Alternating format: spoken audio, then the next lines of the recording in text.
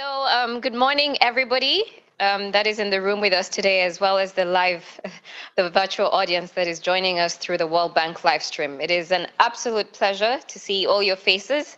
I see an eagerness to learn, but also to contribute to today's conference. So that's super exciting on our end. Uh, my name is Vicky Chemutai, and I'm with the Macroeconomics Trade and Investment Global Practice um, with the World Bank Group. Um, in case some of you accidentally wandered into this room, um, today is the trade conference that has been jointly organized um, between the World Bank Group and the Peterson Institute for International Economics. Um, this trade conference primarily is going to focus on discussing issues, well, as you can see in the name, driving uh, global trade for development. Specifically, our goal today um, is to discuss the recent geopolitical and trade tensions that threaten to undermine the security of the rules-based trading regime. Um, and how trade can contribute to the engine of growth, especially for developing countries. Um, because it is also Valentine's Day, I cannot help myself but uh, give a little bit of amateur poetry to kick us off. So here goes. um, roses are red, violets are blue. Um, globalization has brought forth so many tangible and intangible gains. So why?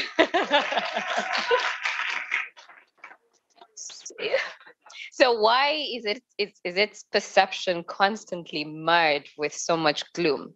Does trade, can trade provide some of the solutions to thwart off this global development blues? The end. Uh, so, to dissect these issues, we are absolutely delighted to have two presidents here with us that need little to no um, introduction. Um, so the first president, obviously, is um, um, David Malpass, who is the president of the World Bank Group. He has been with us since 2019. And our second president is um, Adam Posen, who has been with the Peterson International Institute um, since 20. 13. So it is an absolute pleasure to have you both. Uh, please do come onto the stage.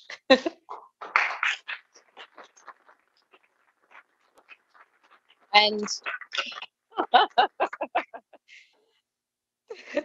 um, and while they do while they're sitting a little bit of housekeeping so we do have um, our sort of experts that are online ready to answer all your questions and this is in french english and spanish do make use of that live chat. And because it's, you know, this is such a big conference discussing trade um, issues, don't be shy, like fire away. Um, this is an opportunity for everybody to get those hot questions answered.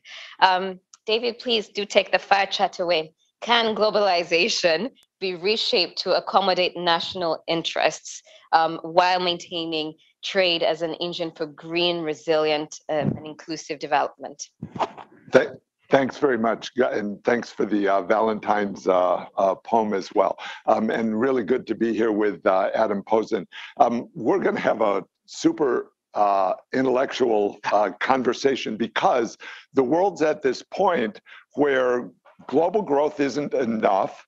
We recognize that trade is part of the solution, but we don't have the exact modalities to get there.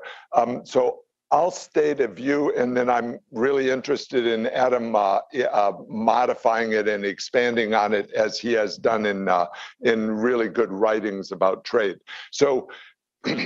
Um, we know from economics that trade is a powerful way to uh, uh, to specialize, and that includes across borders. And so, as people look at the word globalization, uh, it's a necessary part of being on one planet, uh, and it means that there's specialization across country boundaries and indeed across continents. So we need to have continents trading across oceans in order to have the full benefit from uh, from economic efficiencies. Then that gets us into how far do you want to go with it in terms of dependency uh, on Russia for energy or dependency for chip making on on individual countries. And so there needs to be uh, a, a, a rational thought process of of uh, where of where do you want to go with your trade supply lines. And maybe that got overdone. Certainly it did get overdone in the uh, 2000 2000s, 2010s, and even maybe before that in terms of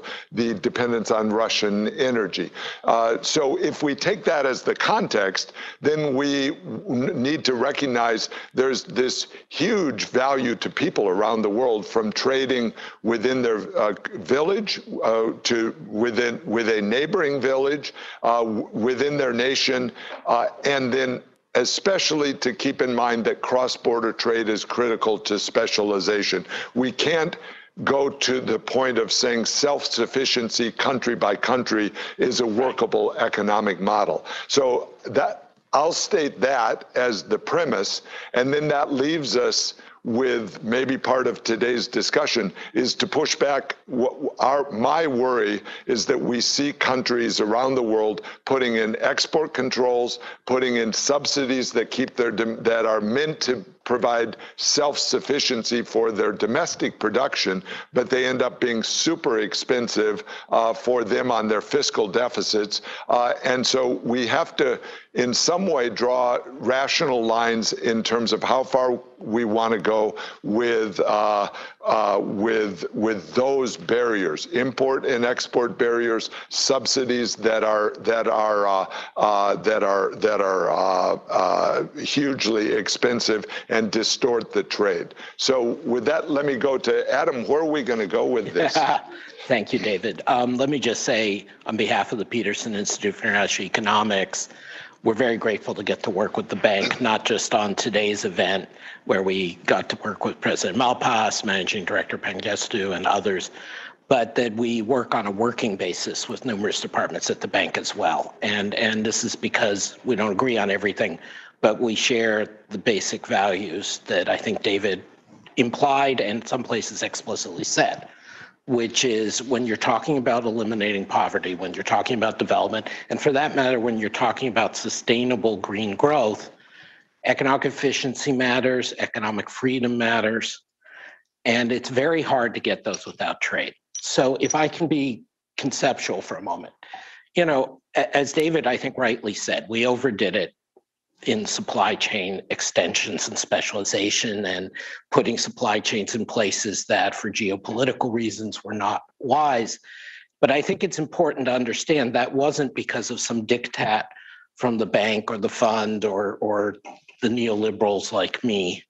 It was organic. It was because you had multinational companies and investors and businesses in developing countries who were out there saying, I see an opportunity. You know, the, the CFO of whatever large global economy country says on a, on a quarterly earnings call, we're going to reduce costs 10% over the next year. And that comes down four levels to somebody who has a plant who says, oh my God, I got to cut costs 13%.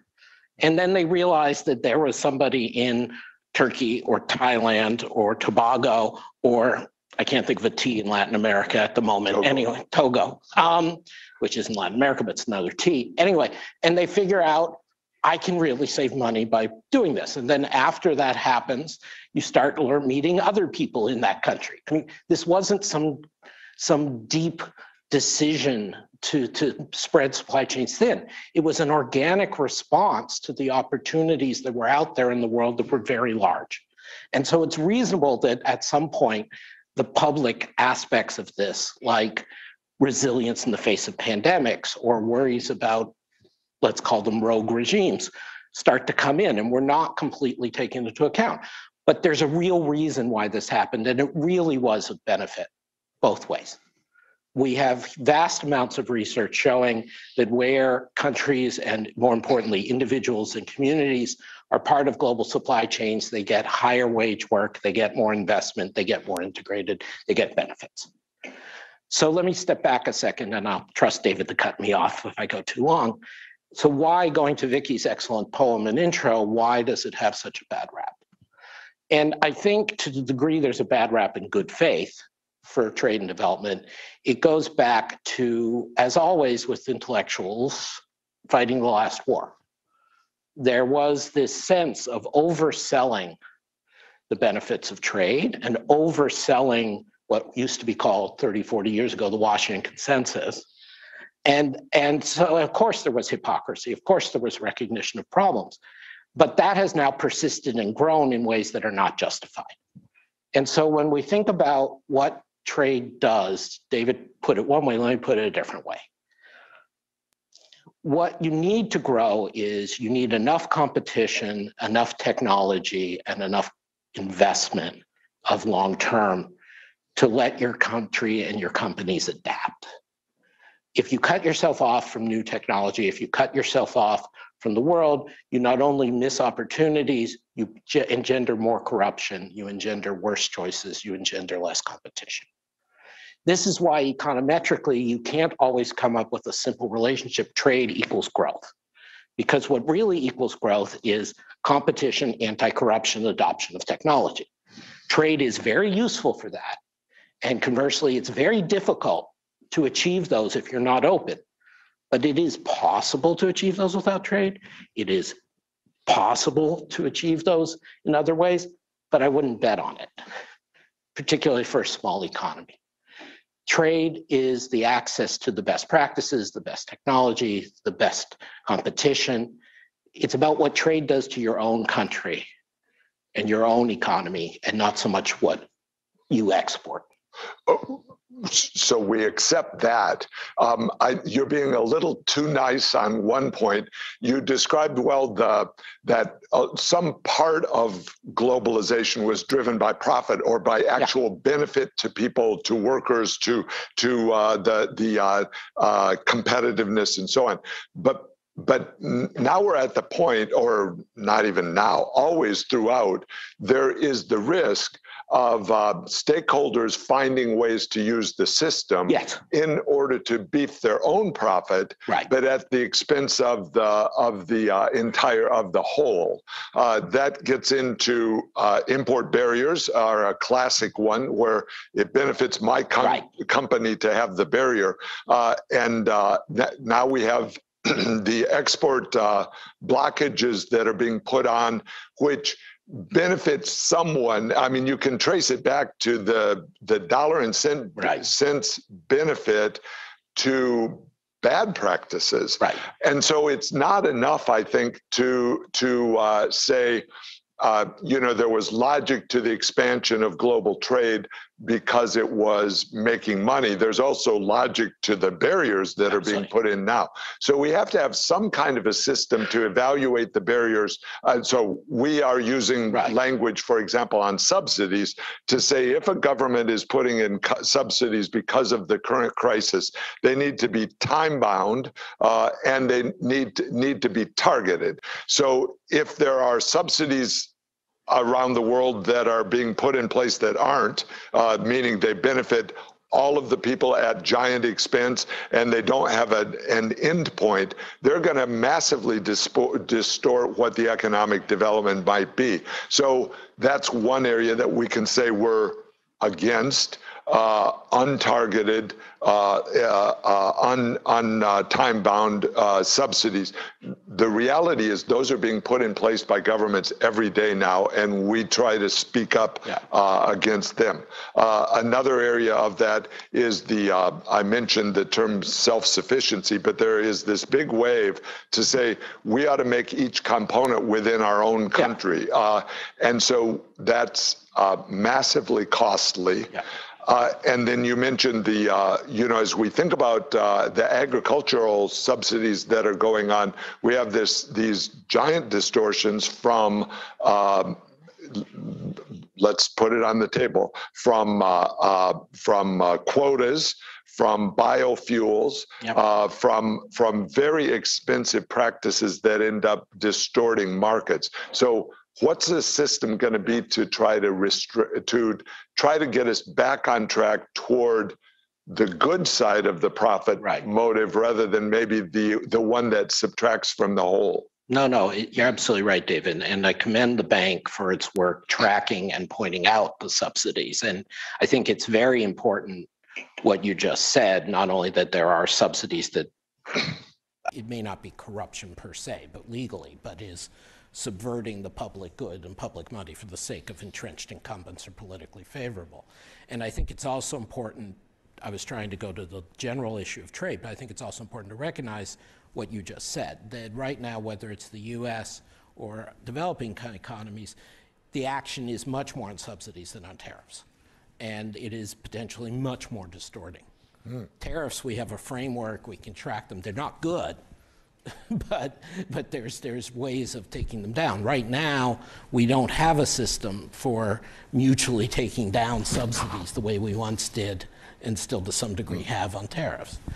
I, I just want to go one step further. Let's take the green example.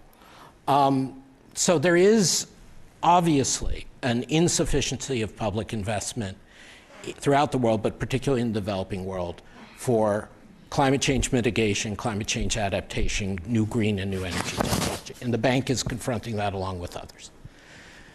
The subsidies reaction is probably not the right reaction in a very costly way because subsidies tend to be tied to discriminatory practices. It's about production or ownership of companies in my territory. And what we know from the adoption of the internet and digital, and we know needs to be true for green energy, is what matters is widespread adoption of best practices. And it's the households and the companies throughout the economy gaining from that. It's not the value of the production. And so, what matters is that we have economies of scale and competition for technologies and not fragmenting standards which if we get all the subsidies out there, we're going to be actually subverting the progress of green, of green technology and green energy. We're going to have countries bank as referred to often thick borders, and that means a lot of things, but essentially we're creating a set of thicker borders for grids for interoperability of technology, for adopting the newest technology, for spreading at a common standard, for getting it cheap enough that people can buy it on a large scale. So even if your goal is well intentioned to increase private, public investment and then private investment in green technology, doing it through subsidies that involve trade distortions is the wrong way to go.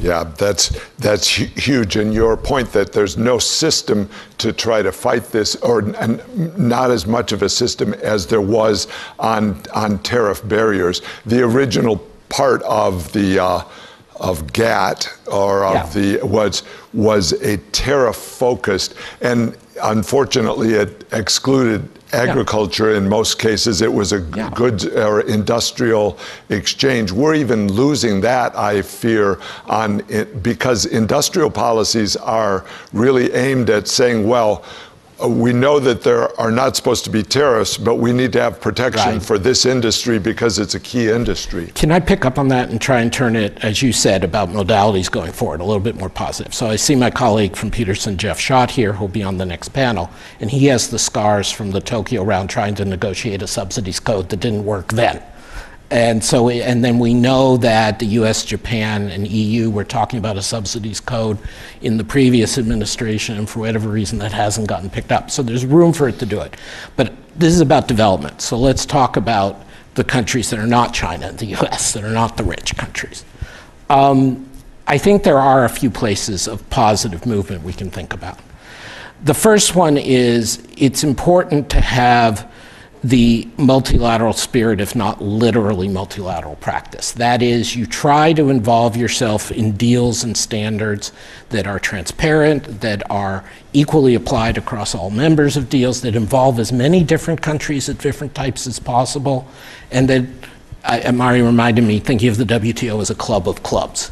That, that, that you, your club may not include everybody on a given thing, but that it's consistent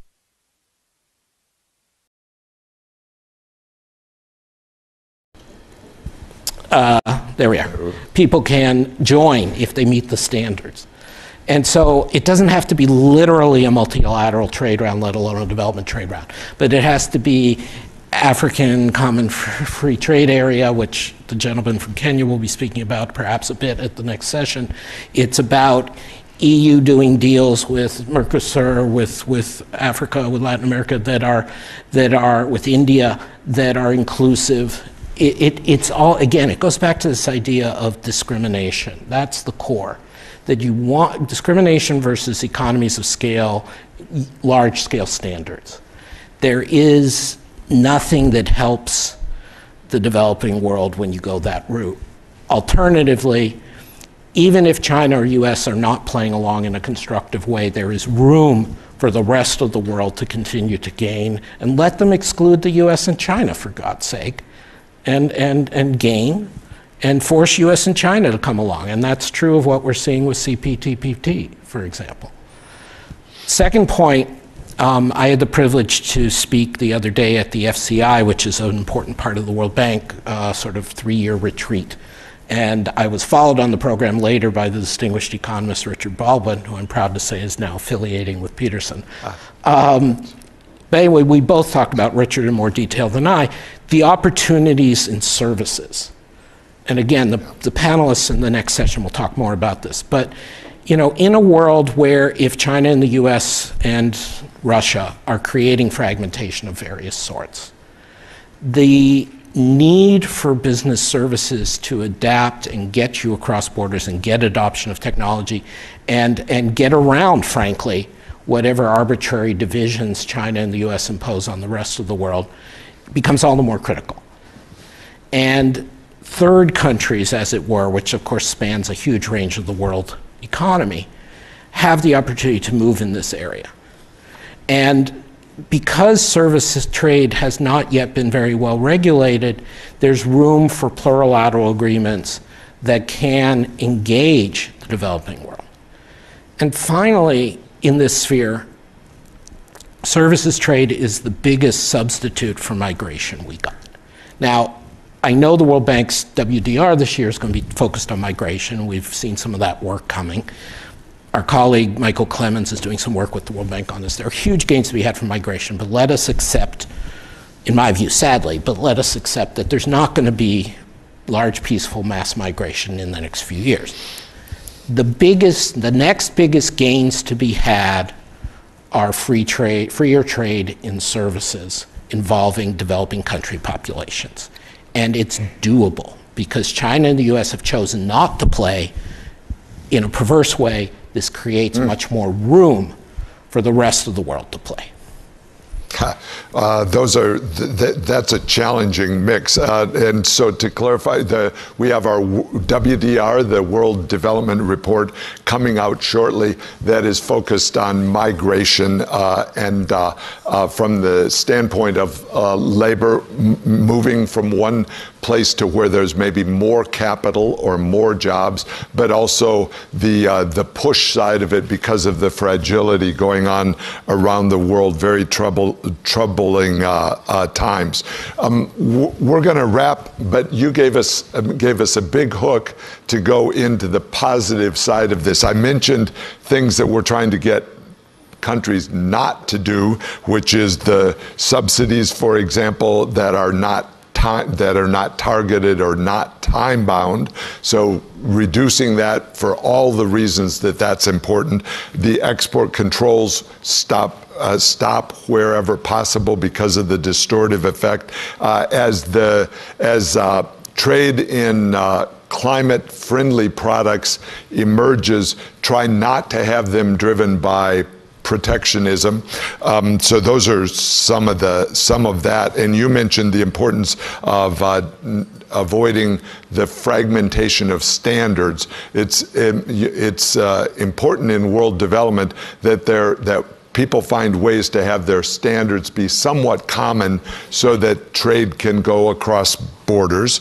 Uh, so, and you mentioned plurilateral on uh, services. So I want to add things that we've been working hard on our trade finance. So as as trade finance broke down during during COVID or even prior, uh, IFC has stepped in, the bank has stepped in, and MIGA has stepped in, and so we've had this giant surge in our own trade finance, and we are hoping uh, that that can be catalytic and bring private sector sector trade finance back into the market as uh, circumstances um, uh, stabilize. But we recognize the importance of trade finance in allowing imports and exports of all kinds. And then I wanted to mention also uh, trade facilitation, which is a critical part. I think I saw Mona here, yep. Mona Haddad. Uh, and so we have a big, uh, uh, uh a big push within the bank. We've got lots of uh, important people. Mari is here, Jurgen is here,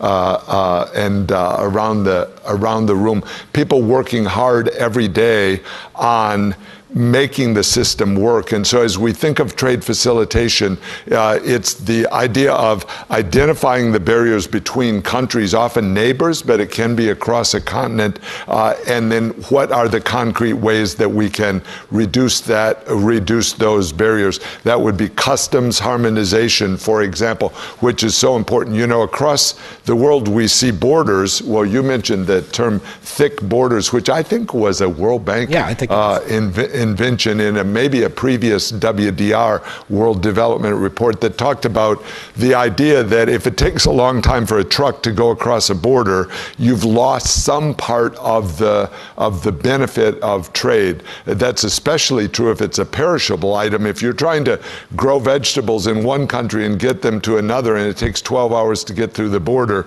uh, that's not going to work because it uh, diminishes the value of the product. So we are working really really throughout the developing world to try to uh, uh, try to facilitate trade, and that includes regional you used a fancy term plurilateral, but it can be regional and it can involve multiple players that decide on rules that make it possible to have a lot more trade.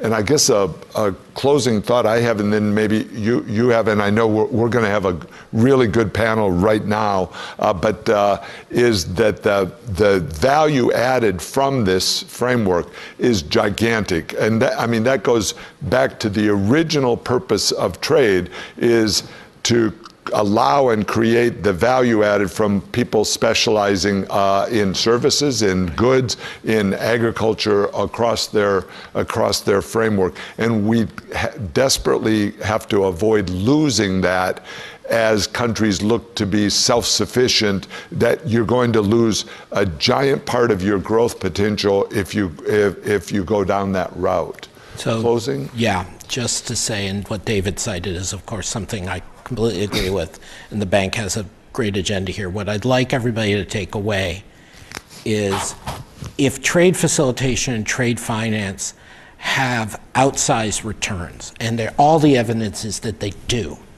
that says that there are $50 bills on the ground waiting to be picked up if we just enable them to pick them up.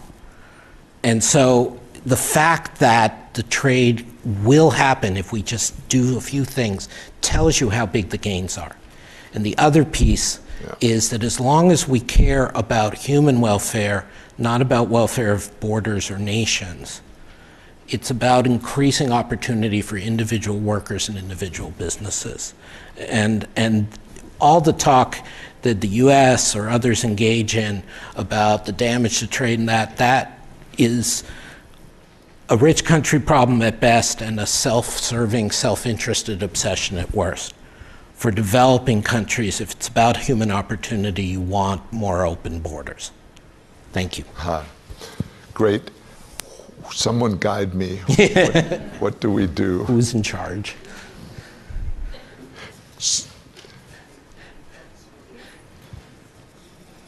No, I'm not in charge. Uh, yes, you you're, are. You're, you're yes, the master of you're the master of ceremonies. Huh. Um, no, well, thank you very much. I mean, that, that was as fiery as it gets from helping us understand why protectionism really needs to come down, how important trade facilitation is, and how subsidies are really just growing. And I really liked what you said about, you know, subsidies almost taking over tariffs because we, yes, the, the, increasing worrying trends we need to think about. But thank you very much for that. Um, so I'm going to introduce the next session. Thank uh, Thanks. Great.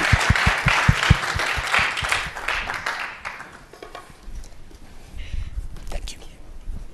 So, in the second phase of the trade conference, we shall be having a panel discussion to explore the challenges and opportunities for business and how developing countries can help farms continue to rely on trade as an engine for growth and development, especially in developing countries. So, to moderate this discussion, we are absolutely honored to have Mari Pangestu, who is our Managing Director of Development Policy and Partnerships at the World Bank. Mari Senang Melihatmu. um, and our esteemed panelists include um, we have, with the research perspective, Jeffrey Schott, who is a senior fellow um, at the Peterson Institute for International Economics, um, working on international trade policy and economic sanctions. Jeff, an absolute pleasure.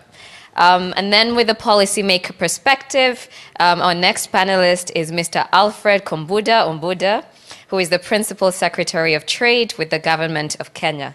Alfred, karibu sana. Um, and critically, which is very important, as we all know, with the private sector uh, perspective, our other panelist is Sunny George Verghese, who is the founder and group CEO of Olam International Limited, a leading food and agribusiness headquartered in Singapore. Sunny Hen Gao Xiang Jian Nerdo. I must have butchered it. Um, and then um, also, as you can see on the screen, with the past perspective of trade multilateralism, we have Anabel Gonzalez, who is the Deputy Director General at the World Trade Organization. Anabel, muchas gracias por estar presente. Estás en casa. uh, Mari, over to you. Uh, terima kasih. Thank you, Vicky. Uh, I think we've uh, had a good sweetener, not just the chocolates in front of you, but we've had a good sweetener uh, from David and Adam to set uh, the stage uh, for our really very well packed panel discussion. and we heard about continued premise for open trade that will deliver growth and development uh, but uh, realizing the challenges uh, that we face uh, in terms of increased protectionism, but also the new opportunities from services and so on. Uh, so I think we are going to discuss in this panel what are the challenges and opportunities for businesses and developing countries, and what are the important policy and institutional responses, whether national, regional, or global, so that we can still uh, leveraged uh, trade for development. This is really the aim uh, of the panel. I think Vicky already uh, introduced the four excellent panelists, uh, and we are uh, hoping to get the government policy perspective, the academic perspective, the WTO perspective, as well as the private sector perspective from those who are uh, online as well as those physically uh, with us here today.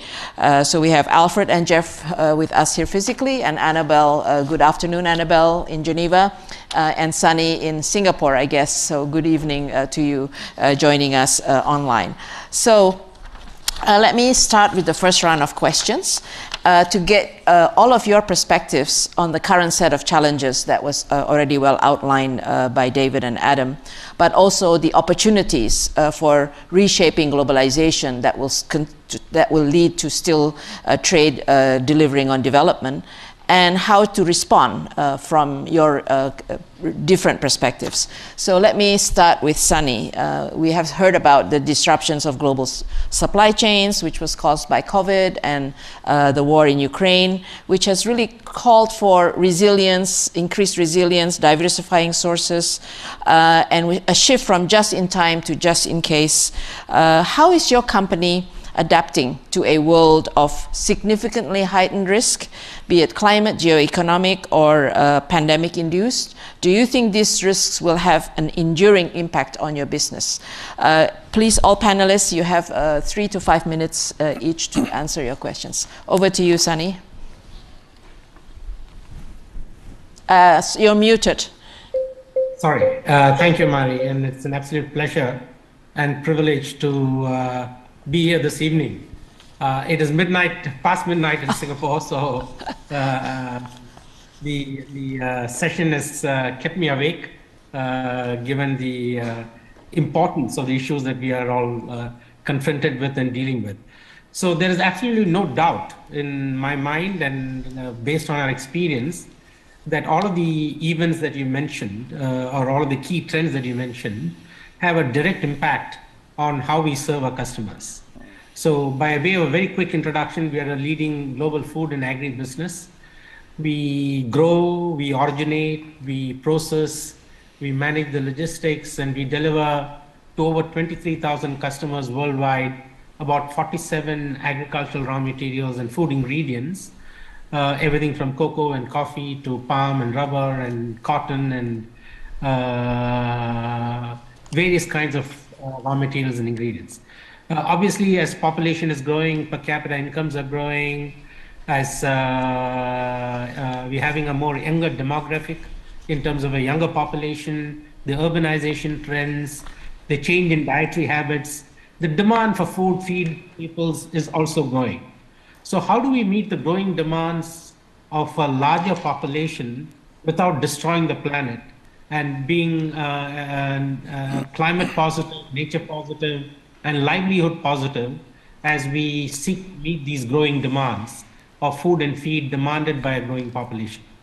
So the first is we already had these supply chain disruptions, which was a result of COVID pandemic, with uh, the availability and more importantly, the access to the food from where it is produced to where it is required being disrupted as a result of the COVID pandemic.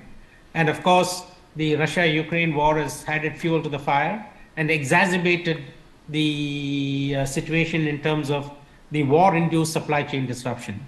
Uh, Russia and Ukraine put together is one of the six big bread baskets in the world. Uh, the grains and oil seeds uh, that Russia and Ukraine produces and feeds the rest of the world is about 105 million tons out of a global trade of 400 million tons, which is about 26% of global trade in grains and oil seeds, just comes from these two countries. And that has impacted uh, the global uh, trade flow in this. Uh, in the case of Olam, in 2021, we were uh, supplying about 41 million tons. In 2022, our volumes have come down to 38 million tons.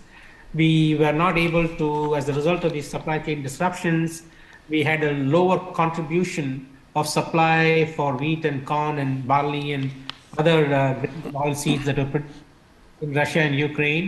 We were able to make that up by our presence in other trade corridors and trade flows. But overall, our volumes declined by about 3 million tons, although the source of that decline in volumes were attributed about 5 million tons to the Russia and Ukraine disruptions, but uh, other trade flows grew for us. So that is a direct impact. In terms of the uh, climate change and how it's impacting our trade flows is also very clear. In Olam Agri, uh, one of the three uh, operating entities within Olam, uh, in 2022, we had uh, greenhouse gas emission footprint of 61 million tons. Out of the 61 million tons, only 0.8% was uh, scope 1 and 2, and 99.2% was scope 3. And since we have committed to a net zero commitment by 2050, we have to reduce our greenhouse gas emissions by 50% by 2030, which means as our greenhouse gas emissions will grow from the 61 million tons to 73 million tons by 2030, we have to bring it down to 31.5 million tons, which means we have to reduce 36 million tons in the next eight years, which is 5 million tons a year.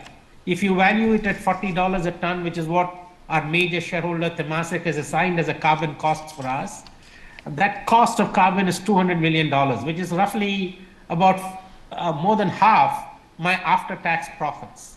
So there isn't a bigger priority for me or my CFO, but to first try and mitigate and reduce and abate our greenhouse gas emissions. We have to be true to our purpose of transforming food, feed, and fiber system so that we can have a more sustainable and food secure future for all. Uh, last year in 22, 70 countries have imposed various export bans and other tariff and non-tariff barriers to maintain food security in the countries. 179 countries have had food price inflation, significantly higher than the headline inflation of 9, 10, 11%. Lebanon's food price inflation last year was 178%. So many countries have suffered very high levels of food price inflation and food insecurity. Yeah. The uh-huh. way we try to manage this disruption and navigate through this is to follow a rule that we will be present in at least 90% of the producing countries for every uh, raw material that we are trying to supply to our customers. So either we are growing them in these producing countries or we have direct farm gate origination and sourcing from about 5.2 million farmers around the 67 countries that we are present in. Uh, and uh, as a result, we are able to compensate if there is some supply disruption from one producing country or region by being able to source more of similar quality and grade of raw materials from other producing countries. And yeah. that's the way we are trying to navigate through this. Uh, thank you, Sunny. So, uh, diversification uh, and uh, the longer term issues uh, on climate that you're addressing. Now, let me turn to you, Alfred, uh, uh, as a policymaker from a developing country. How important is trade for development and poverty in your country? And how are all these disruptions of supply chain affecting trade in your country? And what are some of the key challenges you face in terms of designing your national policy actions to make sure that you know engine the trade continues to be the engine for economic development? Mm -hmm. uh, thank you so much, uh, and uh, thank you for having me here this uh, morning for this panel uh, on uh, global trade and development. And I will straight go to the point that um, you know global supply chains over the last few years have obviously had an impact on countries' ability to trade everywhere, rich, developed, poor, growing nations.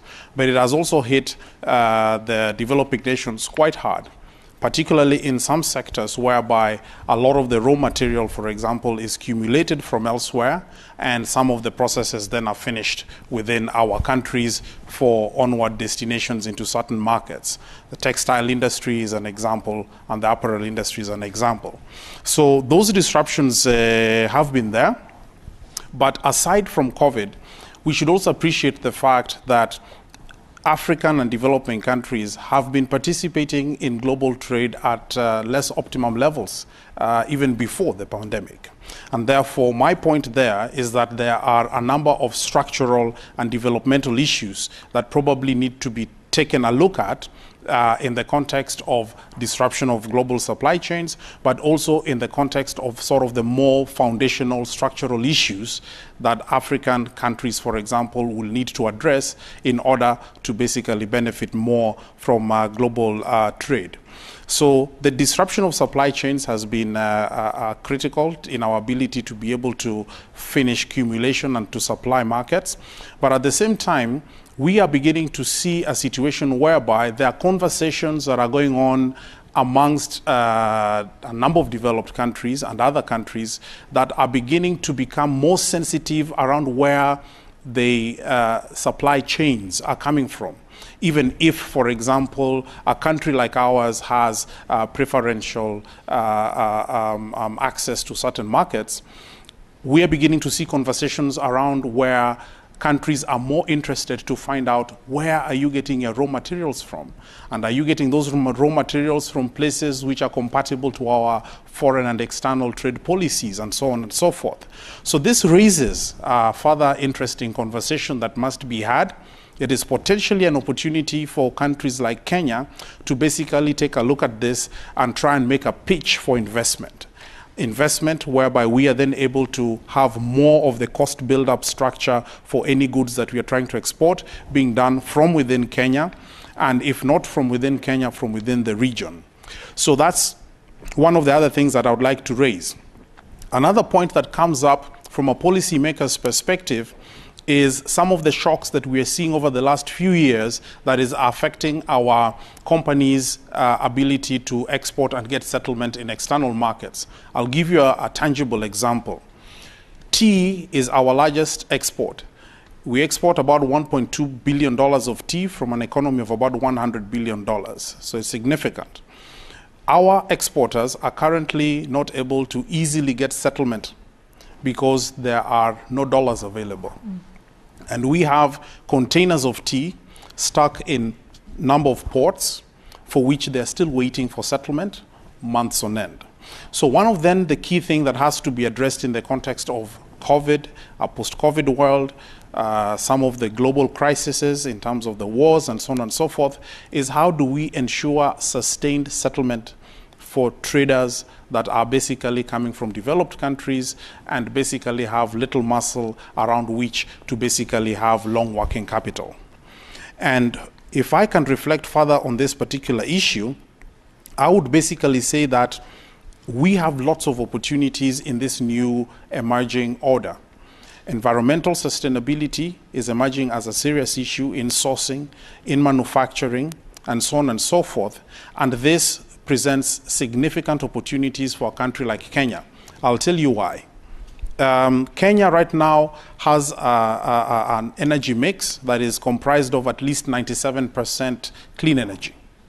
Uh, and the other 3%, we are basically moving to get rid of it uh, from our energy mix. What does this mean? It basically means that for anybody who wants to do manufacturing in Kenya and has products that require a high uh, contribution of energy, already gets a leg up when you are manufacturing in Kenya. So we are trying to tell this story, and we are also trying to get the investments that are necessary for us to have located in Kenya the kind of investments for people who want a green badge for their exports. And this becomes a very significant opportunity that I believe we need to um, um, um, work on.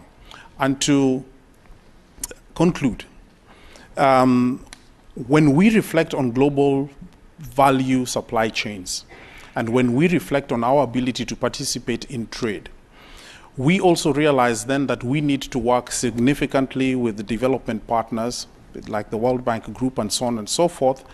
And we need to be able to open new markets and to negotiate in new markets so that we are able to have more markets for our products out there. We are, for example, working with the global trade team of the World Bank Group to basically help our negotiators understand and be uh, more effective in understanding the global trends. And that has also helped us with our current conversations that we are having with uh, uh, a number of our trading arrangements. We are also, for example, having uh, conversations with the finance, competitiveness, and innovation team that basically is putting up a significant jobs uh, uh, and economic transformation program that hopefully will also look at the key issues that need to be resolved on the export side. But allow me to conclude by saying that to participate in global markets pre-COVID or post-COVID to me makes little difference because there are significant foundational structural issues that are still not yet solved. And what do we need to do? We need to open new markets. We need to invest in investment-led trade whereby our proposition is to attract investment as a basis for trading in external markets. We need to leverage green energy that we have in abundant supply and create a magnet for that. We need to ensure that our export markets become pro poor, pro farmer, and pro young people so that they're able to participate in external trade. Thank you very much. Thank you. Thank you so much, Al Al Alfred, for outlining the, the challenges as well as the opportunities. Over to you, Anabel. Uh, I think uh, let, let's start by saying that the multilateral trading system has played a very important role uh, in ensuring uh, developing economies are integrated into the global economy and framing their national policies.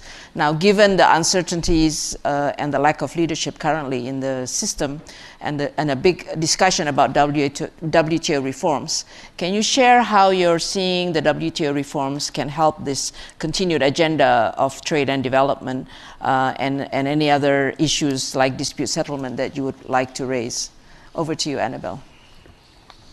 Thank you. Thank you very much, uh, Mari. I'm delighted to be here with uh, fellow panelists in, uh, in this event organized by, by the bank and uh, the Peterson Institute for International Economics.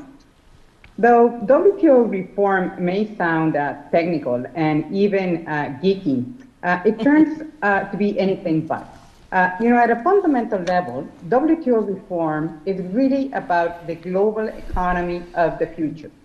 Without WTO reform, a situation where power replaces uh, rules in global trade relations becomes more likely. And that would hurt everyone and benefit no one. The cost of the resulting economic fragmentation would be massive, as much as 5% of long-term world GDP if the world economy would split in two self-contained blocks according to WTO um, estimates. So that, you know, to put it into context, that would be worse than the damage caused by the 2008-2009 uh, global financial crisis. And small and mid-sized developing countries uh, would be hit uh, the worst, as they would see their prospects for trade-led growth and development severely curtailed. So WTO reform is first and foremost about safeguarding trade's role as a tool to create jobs, reduce poverty, and increase, in, um, increase economic opportunity, especially in the poorest developing countries. Now, beyond that, WTO reform is also about promoting more resilient, more sustainable, and inclusive trade. So first, let me say a word on uh, resilience. Uh, turning inward and retreating from trade is hardly the answer to make economies more resilient to shocks. Uh, I think David and Adam uh, were referring to this before. Uh, on the contrary, what we need are deeper, more diversified, and deconcentrated markets alongside uh, with guardrails that protect against excessive uh, fragmentation. A reformed WTO can play a key role in several areas, improving transparency and monitoring to map concentrated trade relationships, promoting policy dialogue and coordinated solutions, and fostering trade facilitation to bring alternative supply sources into the global economy. Again, uh, David made a strong pitch for trade facilitation, and I would like probably to say a bit more uh, on that later on. Second, WTO reform is about sustainability. We need a reformed WTO to be able to leverage the global market for effective and ambitious climate action. And there are many ways that this can be done. For example, by reducing uh, the trade barriers that prevent green technologies from moving to where they are needed. The WTO must also play a bigger role in ensuring a just and fair climate transition, not least by ensuring that climate measures such as carbon border adjustments do not put exports of green goods and services from developing countries at a competitive disadvantage. And third, the WTO is about, uh, WTO reform is about inclusiveness. We need a reformed WTO to allow new actors to tap into new sources of growth, especially for countries and businesses that have not been able to benefit from trade integration and as a result remain in the margins of the global economy. And though merchandise trade growth has uh, slowed, uh, Adam alluded to the great opportunities uh, that uh, services, that digitally delivered services in particular, uh, can bring. And this is a market and export opportunity that in 2021 amounted to 3.7 trillion dollars. Uh, so, so this is this is uh, very very uh, significant, and this is also the case of green trade. Now, turning briefly to some of the specifics of WTO reform, let me say a word on negotiations and dispute settlement. So on the issue of negotiating new rules, our successful 12th ministerial conference last June demonstrated that uh, it still can be done, that there is still life in the multilateral approach. But we need to complement this with a basket of alternative rule-making approaches so that willing members can move ahead on relevant issues without being held back by those that uh, do not uh, that are not ready to engage. And such alternative approaches are beginning to uh, to deliver we have delivered plurilateral outcomes on services domestic regulations to slash red tape on, uh, on uh, services trade. Um, conclusion is within reach on investment facilitation. And the talks on e-commerce are proceeding. On disputes, the lack of a fully functional dispute settlement mechanism not only clouds uh, business perceptions of the uh, utility of the WTO, but it also weighs on negotiations and deprives developing countries, particularly small and mid-sized ones, from a unique instrument to ensure that WTO rules are applied consistently across WTO members, no matter their size. So that is one reason why having a fully functional dispute settlement mechanism is a top priority. Now, at the same time, I also have to say that the dispute settlement system is not frozen. The system is still being used by members, Members are also using alternative modes of dispute resolution. And in going forward, thinking in terms of a basket of tools for resolving disputes is something that could help us return to full functionality by 2024, the deadline that was established by our ministerial conference. So let me conclude by saying that WTO reform is likely to be a slow burn rather than a big bang. In fact, bits and pieces of WTO reform are already happening, but we need to accelerate the pace to ensure that WTO is fit for purpose in a more complex and rapidly changing trade policy landscape.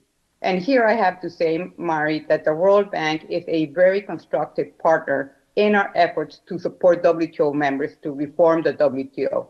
So great thanks to, to you, to David, to Mona, to the whole team uh, for, um, for the, your strong support uh, and commitment for a revitalized WTO. Thanks, Anabel. okay, WTO reforms are not geeky, and we're looking at uh, slow burn and not big bang, but let's all work to get the big bang, uh, a, a, bigger bang, uh, let's say. Uh, uh, Jeff, uh, I know you've been thinking about this topic for some time, and just want to get your take on, you know, we see the trend of, of fragmentation the discussions on friendshoring, nearshoring. Uh, give me your take on how this impacts developing countries and what should be done. Well, thank you, Mari. And uh, of course, David and Adam's conversation at the beginning really laid out the key issues uh, that, uh, that are involved in, in, with your question. But if I were to point to one word that is the focus of all this friendshoring, nearshoring, it's the need for investment. Alfred pointed this out. Yeah. This is what we're really talking about. Some people are talking about how do you create the incentives to lure, lure the investment uh, into your country uh, by hook or crook, by carrots or sticks, uh, by trade preferences, by subsidies, by trade discrimination, uh, forcing that, uh, that flow of funds, by economic sanctions for penalizing uh, countries or companies if you don't do it. Uh, I think Adam spelled out very clearly some of the costs of this discrimination uh, in lost opportunities and wasted resources. Uh, but uh, it's, it's clearly what has been prompting the discussion today because it's been focused, the friendshoring has mostly been focused about China. And what do companies and countries do facing the China shock, the shock of the trade war, rising costs in China, uh, the, uh, in, in very limited sectors, the economic uh, export controls that prohibit the flow of investment uh, to different markets. Uh, but there is, there, is, there is much more that needs to be done. I think the incentives the subsidies, the discrimination that the United States has put forward are, are actually very small. You may be talking about $50 billion but over, over five years, but it's, it's small in terms of the movement of funds and production, uh, the reordering of distribution networks uh, that are, uh, are, are at issue. And here I think one has to look at why friendshoring has been in existence and, and important for the, uh, for the international economy for a long time, but it's just not been called that. Trade agreements create preferences that open opportunities for trade and investment. They're meant to encourage more opportunities. Economic reform, regulatory reforms, the investment in infrastructure and ports and, and logistical networks, that all uh, creates the environment for growth that, that Alfred was talking about. Uh, these are things that trade agreements over time have been uh, uh promoting. Uh, uh, opening opportunities for increased trade and investment, or friendshoring. But you never hear anyone saying a trade agreement is, is a tool of friendshoring. Uh, and actually, uh, it is, at its essence, as long as it, is, it emphasizes the openness of opportunity and not uh, the cost of discrimination. I think this is what governments need to think about when they are pursuing these policies. Uh, they have to ensure that they are creating the climate to take advantage of these opportunities. Uh, so, uh, encouraging the types of economic reforms that create the opportunities throughout the society. Uh, and and I, I, I think Alfred, uh, in, in, in his own country, create the opportunities for young people, uh, men and women, to uh, move forward uh, in new technologies where there is an, an emerging uh, uh, growth. Uh, that's critical. And uh, to uh, support that with the infrastructure, whether it's physical or education, and to work with trading partners and friends to uh, deepen regional uh, integration arrangements uh, to create new opportunities for secure and efficient sourcing of raw materials and components and access to the markets. Uh, this, I think, needs to be supplemented by the broader alignment of regulatory policies. Uh, this is something actually the United States is trying to do in the Indo Pacific Economic uh, uh, Framework and in the Americas uh, uh, uh, framework, and through its bilateral initiatives and regional initiatives in Africa and elsewhere. to, to align regulatory policies that often, as a practical matter, determine whether can enter whether one can enter and compete uh, in foreign markets. So I think that is, is critical. I think the guidance of, of the work at the bank in, in promoting good regulatory practices and uh, uh, around, around the world is, is helpful and something that I think we can build on. Thank you.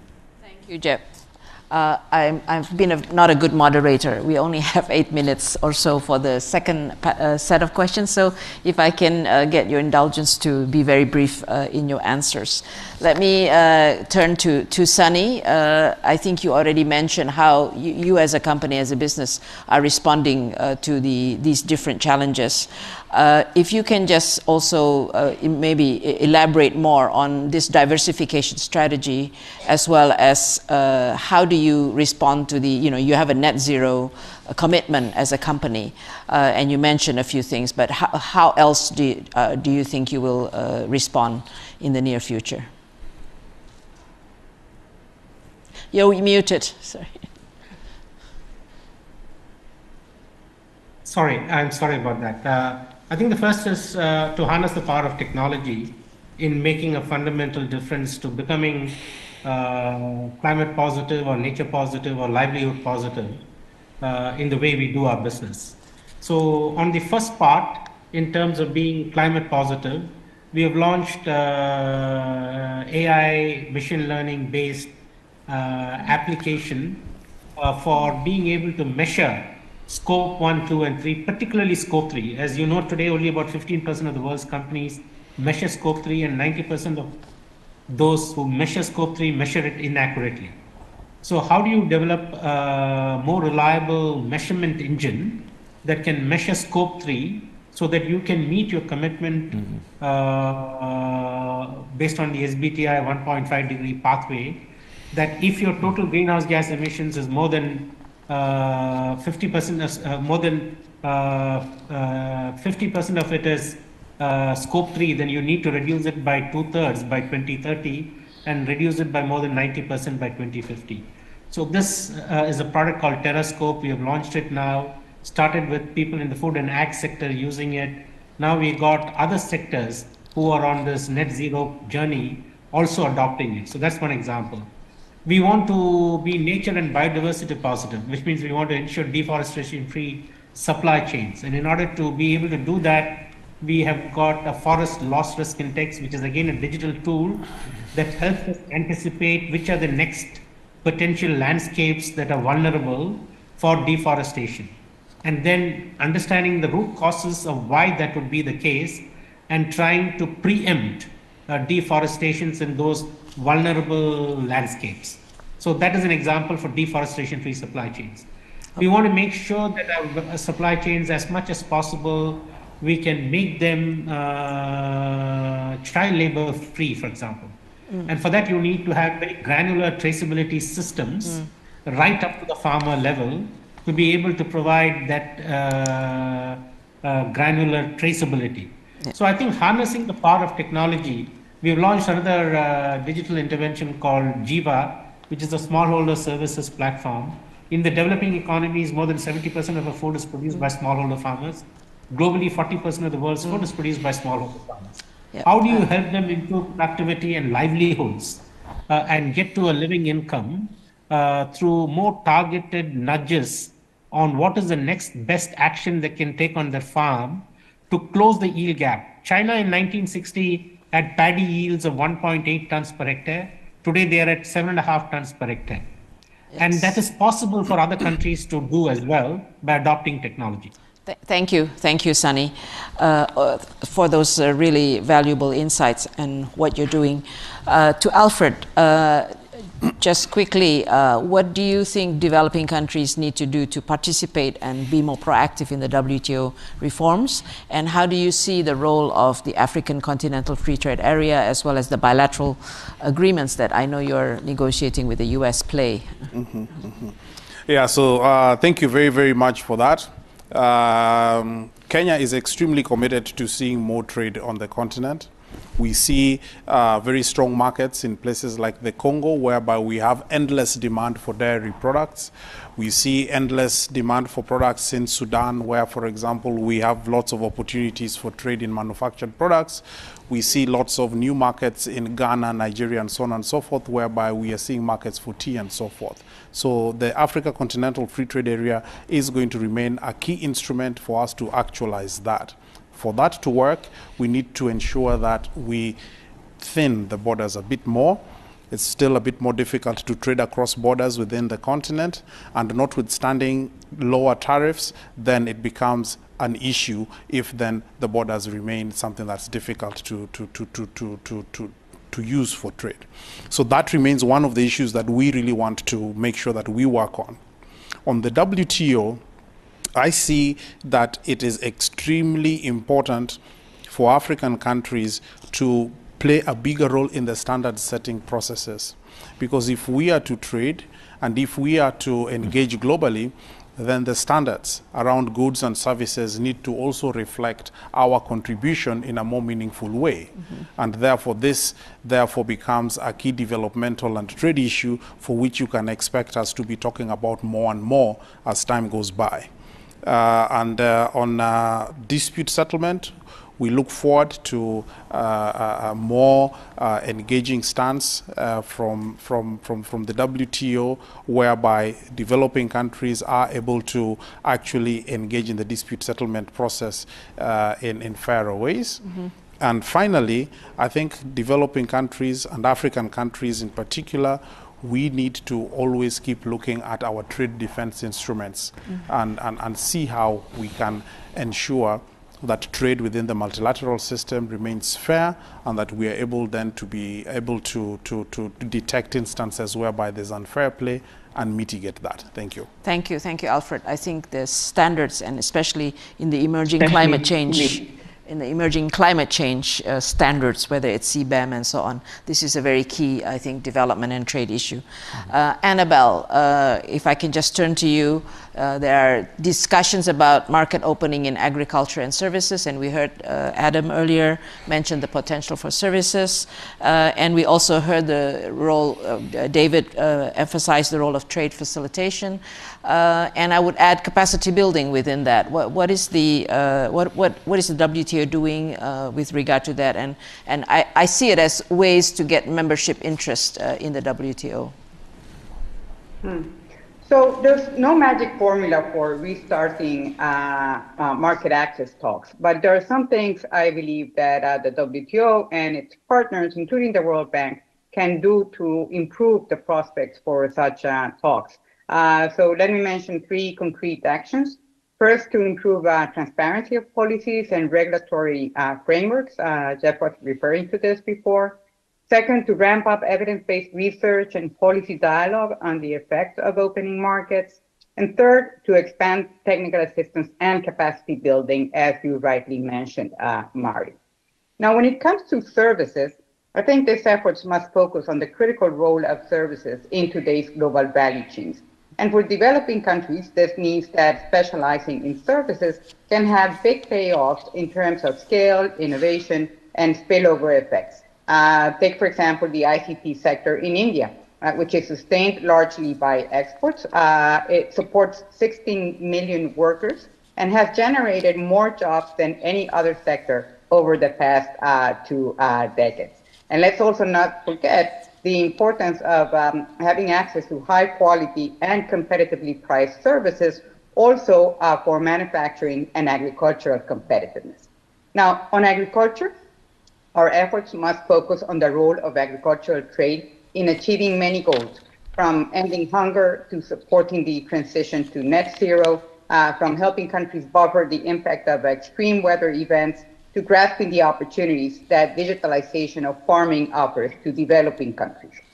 Now, you, let me just say a word on what countries can do at home to reap the gains of trade in digital trade and green uh, products.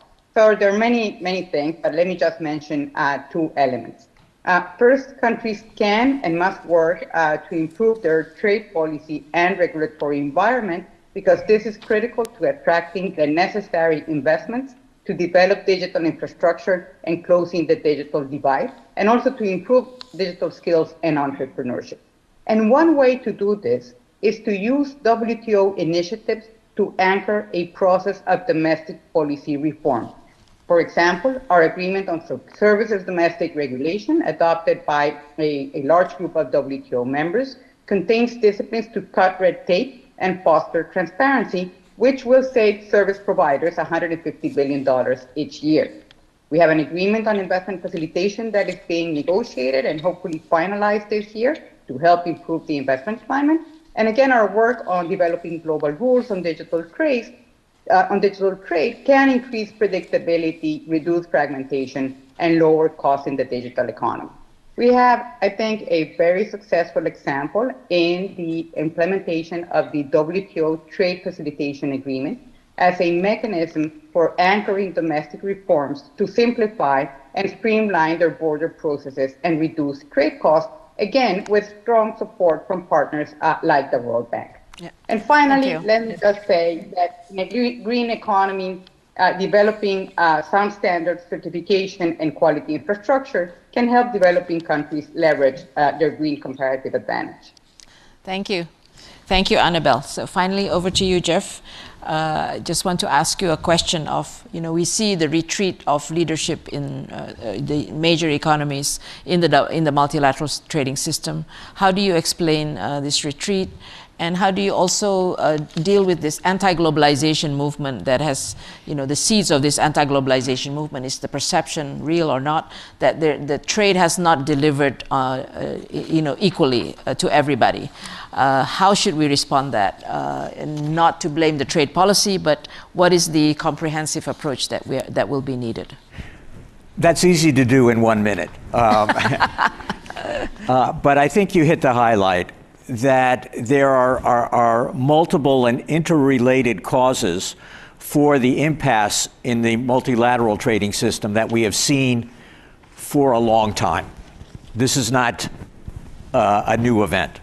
Uh, we've had a failure of WTO negotiations from the start to update uh, the, the rule book.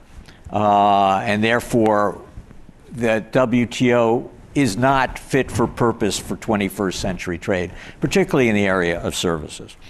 Uh, we've seen an abuse of the consensus rule by both developed and developing countries. Uh, effectively, a veto by the big players that are not invested in maintaining and strengthening the system.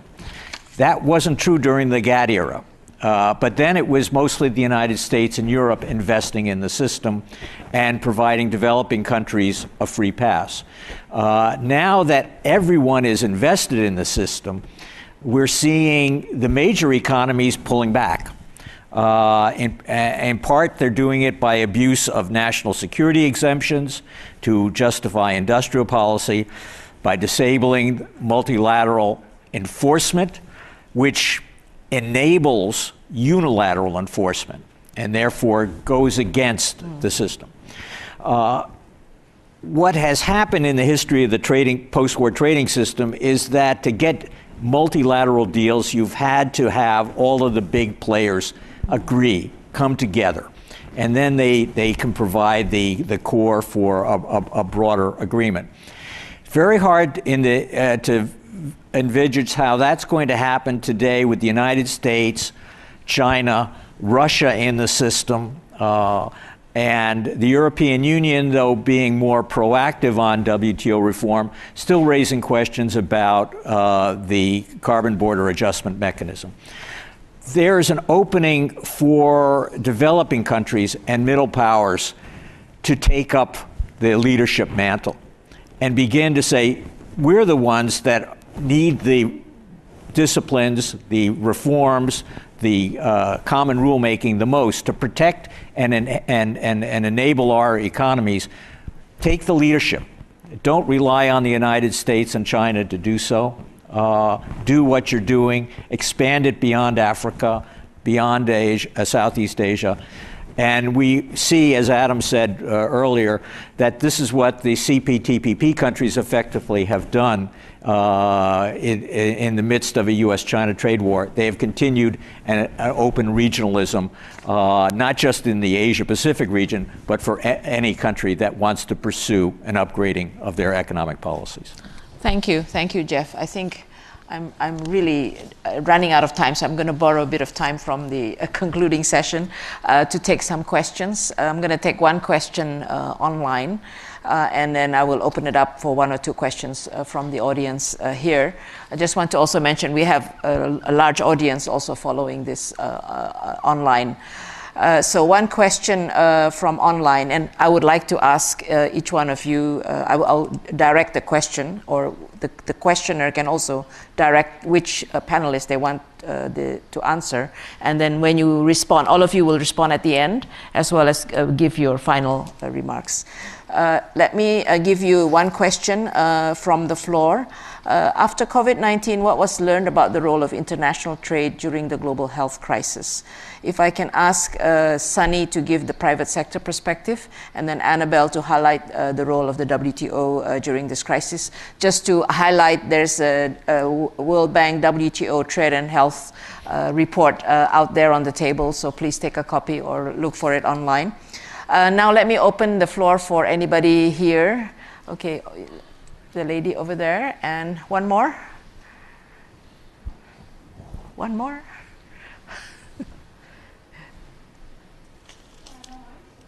okay. Uh, thank you so much for the presentation. Actually, I want to follow up on what Alfred has said, that country, uh, countries in uh, Africa and developing countries are trying to have their in, um, initiatives uh, on a green uh, free trade zone, for example, in Ethiopia, also now what Kenya is uh, thinking about. Uh, but the issue, according to many reports, including McKinsey, is that the problem with the green uh, agenda and the implication of and the application of that is not at the suppliers level. It's about what happens throughout the supply chain from the time uh, products get out of the country. And uh, so the issue is how to have all the players um, when the products uh, get out of the country, all the players, including shipping companies, multilateral uh, countries on the uh, exporting countries, uh, etc., to have them in sync to ensure that all the benefits of this green agenda um, is uh, realized. and also that will benefit in return the importing countries. Thank you. Thank you. Please uh, keep the questions short and tell, tell us who you want to, you, which panelists, uh, or, or, which panelists or panelists you want to Thank you very much. Um, so I think the, the question is general for all panelists of this panel and even eventually the, the previous. And um, so uh, we heard uh, from many, from uh, a view that uh, basically to save trade, we need to look beyond trade, to competition, to product uh, regulations, to labor regulations. Uh, but we are still talking about a global agenda or a multilateral or a uh, international agenda for trade, while these issues we are thinking at how to deal with them on a national scale. But this is a bit the recipe that we followed in the last 30, 40 years. So what is it that needs to change to make it happen this time? Thanks. Okay, I think I will uh, perhaps reverse the order uh, and start with. So, uh, I think you had some one general question to all of you, uh, one question to Al Alfred, and then the COVID 19 uh, question to um, Anabel uh, and Sunny. There was also another question actually on climate change and trade, and maybe Jeff uh, from online, maybe you can also address that, and then also give some wrap up uh, comments. But all in, uh, we're running out of time, so all in uh, one, one to two minutes at most. So Jeff. Well, I'll, I'll, I'll focus on the last question because you're saying Are we doing the same thing all over again? Uh, in the past, it was really top down. Uh, and if you look at, at the trading system, the post war trading system, it was designed on, on US law and practice. Uh, many people in Washington forget that. but uh, to meet the challenges of the 21st century, it has to be bottom up. It has to be countries recognizing that for their own welfare, they need to work with their, with their neighbors and, and uh, develop a set of guidelines that will ensure the ability to produce, trade, finance, uh, uh, and, and grow all, uh, for, for the men and women, young and old, in their, in their societies. And that's not going to come from the United States or China telling you what to do. It has to be an awareness among the developing countries and the middle powers on how, on, on, on how to move the system forward. Thank you. Uh, so if I reverse the order, that means Anna, Anabel, right? Did I get that right? Or did I get that, get that right? Or did I get I'll, I'll go ahead anyway. Uh, let me just briefly say that uh, contrary to uh, popular perception and uh, despite initial uh, hiccups, uh, trade played a critical role in making sure that, that vaccines, that um, therapeutics and diagnostics reached all over the world. And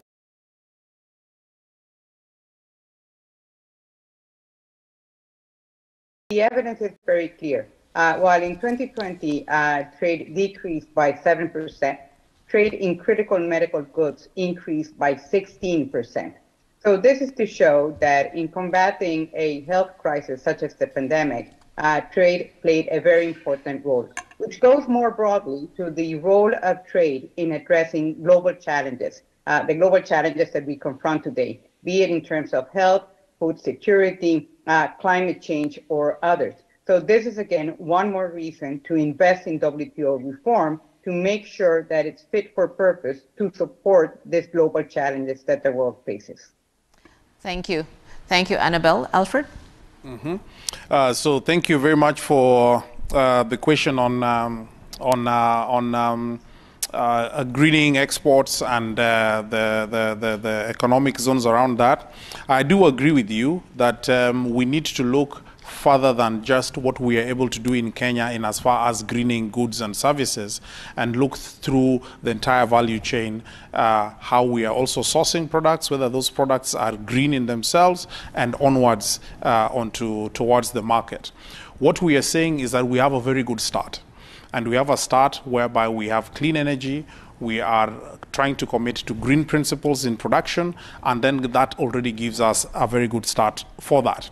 And I'm just hoping that uh, in conversations with development partners, for example, hopefully even with their finance competitiveness and innovation teams, for example, is that then we're able to think through what does it take in reality to have a green export strategy whereby the supply chains are also responsive enough for the product to arrive on the shelf premiumized and green. Thank you. Thank you, Alfred. Uh, last but not least, Sunny. I, I think uh, we've all uh, seen the importance of keeping uh, trade flows uh, and the uh, ability to access food, feed, basic life's essentials from whichever country has the most comparative advantage to produce that cheaper, better uh, and take it to destinations where it is most required and where there's a deficit of the production of these raw materials. Uh, and it is therefore unfortunate that we have the precisely the wrong policy response when we have disruptions like the one that we have seen from COVID or the one that we have seen from the Russia-Ukraine war, when more and more countries exacerbate uh, that supply-demand disequilibrium by uh, export bans and uh, import uh, tariffs and export tariffs, which only worsens the situation. So coming back to the question that was raised from the floor about how can we remove some of the vulnerabilities of trade that is not uh, regulated or controlled in a way that the vulnerable sections of society who might be disadvantaged by more free trade can be reskilled or can be provided for or taken care of is an important lesson for us to have trade drive good quality GDP growth. Thank you. Thank you, Sunny. And thank you to all of you panelists. I'm, I'm, sure all of you will agree that we've had a really great discussion with excellent panelists. More questions to be answered, but therefore uh, more work for all of us to do. But uh, I will ask you to give a round of applause uh, to the panelists.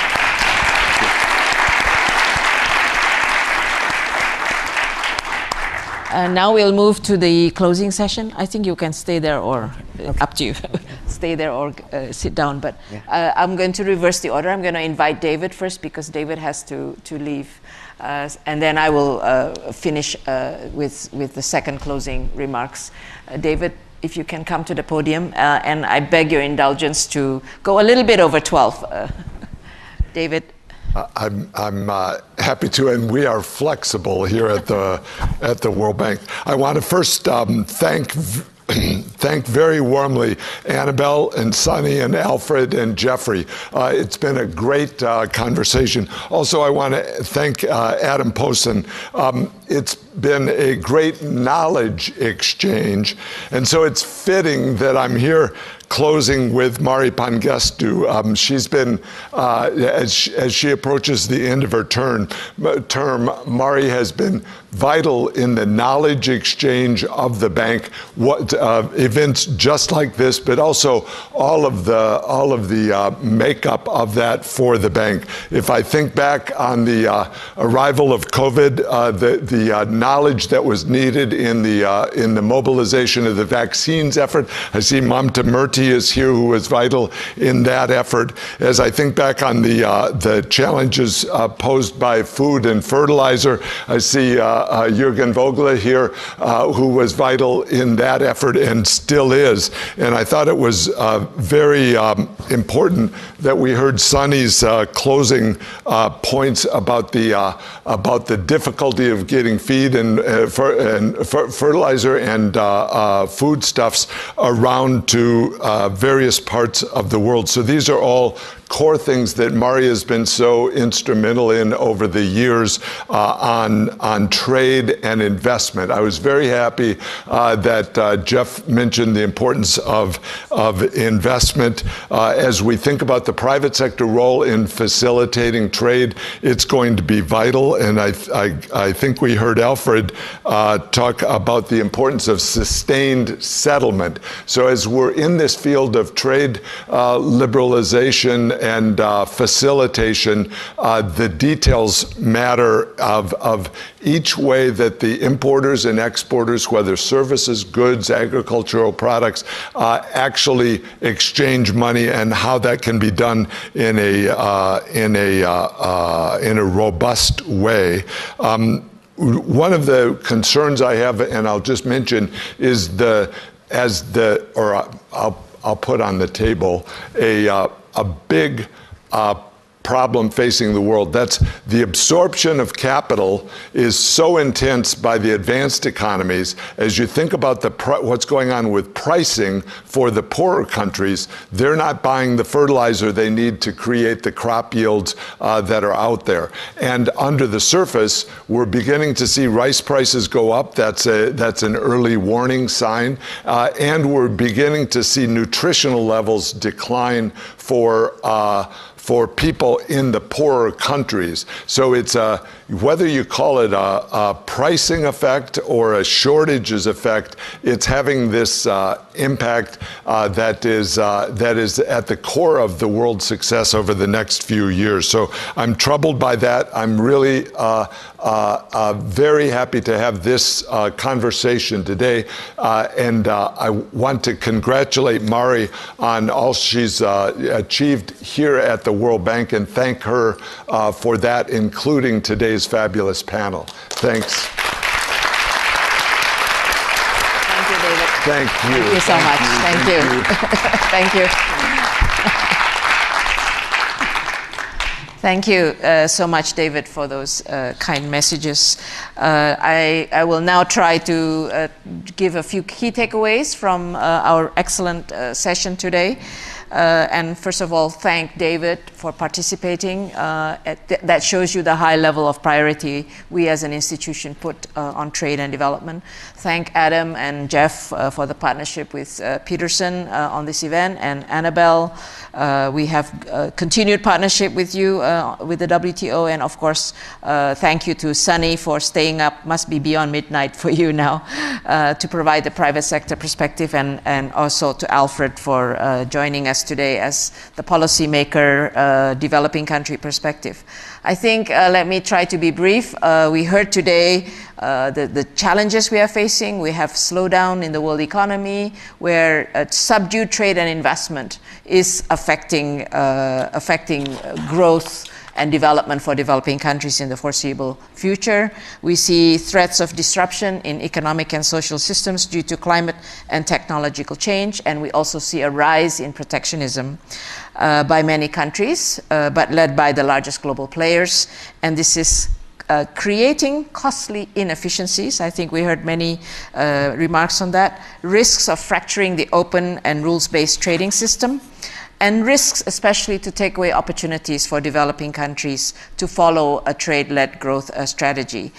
Uh, what we heard is also that whilst there are challenges and uncertainties, driving trade for development still matters. And, and I'm a great believer in that uh, myself. Uh, and we, we heard that there are new opportunities in trade that have emerged, such as green products and uh, services, especially digital-based services. If you look at the recovery of trade uh, post-COVID, actually ser business services recovered um, very quickly.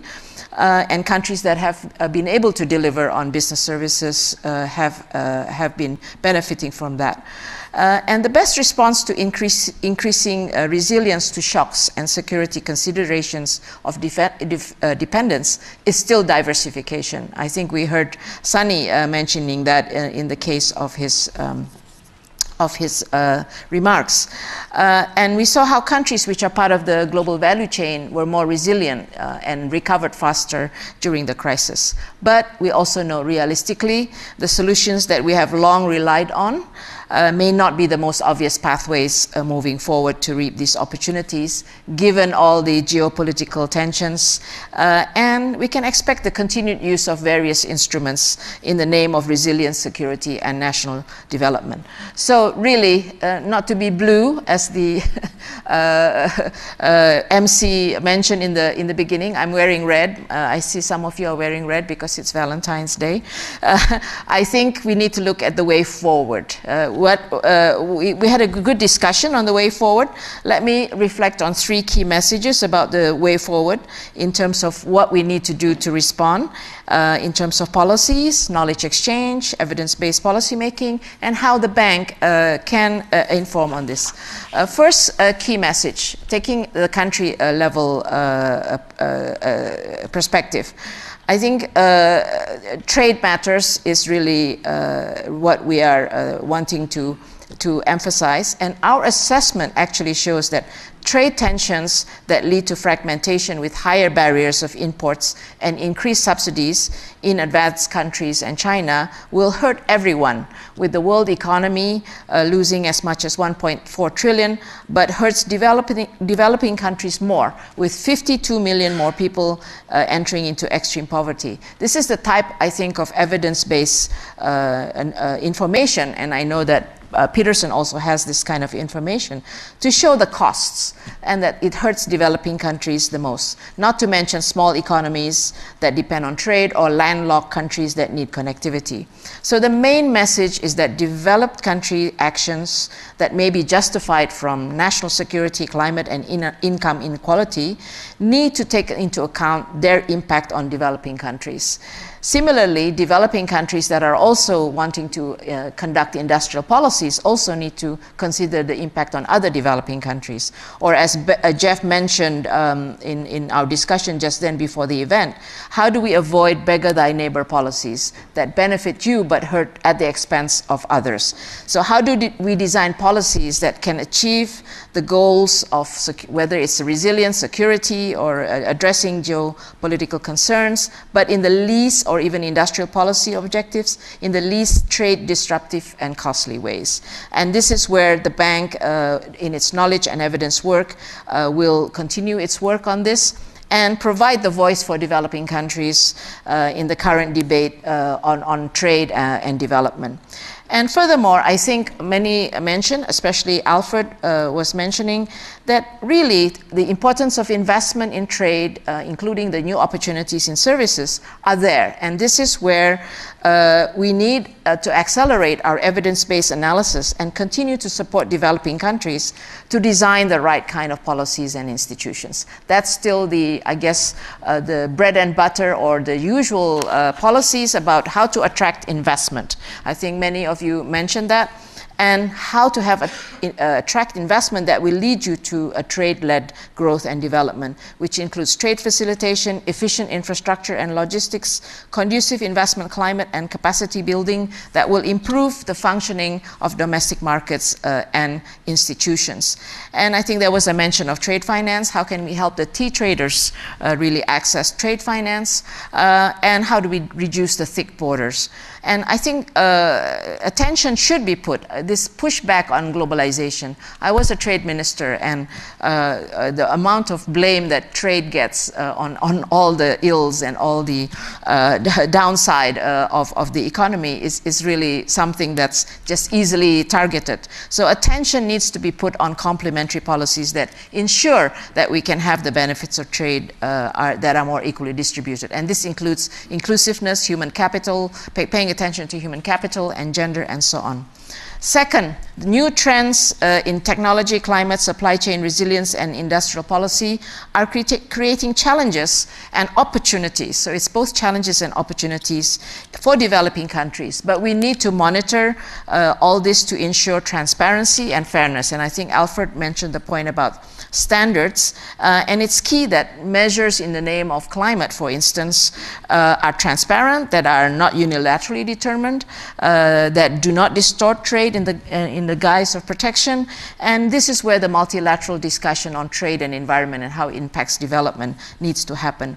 It's about uh, transparency of subsidies, making them targeted and time-bound, supporting data collection uh, on and analysis on trade and services, and also understanding better uh, the types of smart versus costly industrial uh, policy and understanding better trade costs. For businesses, understanding the uh, trade costs is really key.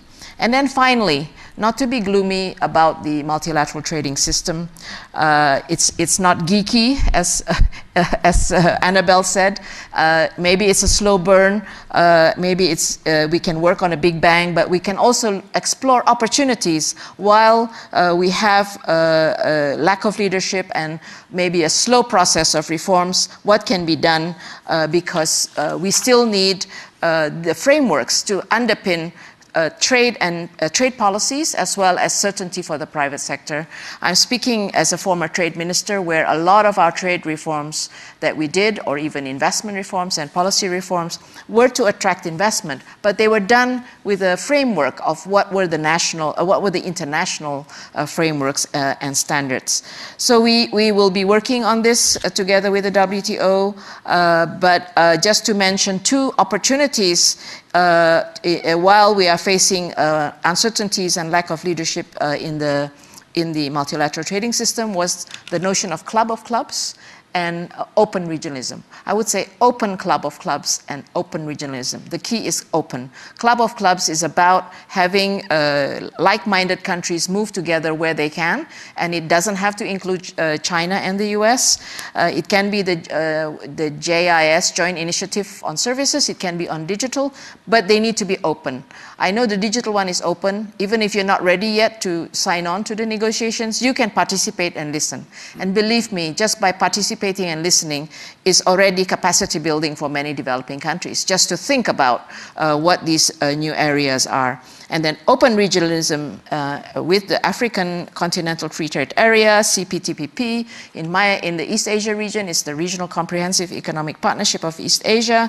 These can uh reduce thick borders. They can, it's not just about tariffs, as Alfred said, uh, reduce the thick borders, uh, do it in a way which is deepening and broadening, open to, to members, open club, uh, and uh, link it to the open, uh, to the multilateral system. I'm just going to quote one of your founders of P Peterson, Fred Bergsten keep the bicycle moving. That's what he always said, you know, uh, just however way you can do it, just keep the bicycle moving. So let me close on that note, uh, optimistic note uh, that I'm not blue, uh, I'm uh, a half full uh, glass person, and I hope that all of you will work together with us as partners, as collaborators, and to support countries like Kenya to really achieve not just a slow burn, but uh, if it's not a big bang, at least uh, a certainly significant impact for development for the people that matter uh, in these countries. Thank you very much, and thank you all of you for coming uh, today.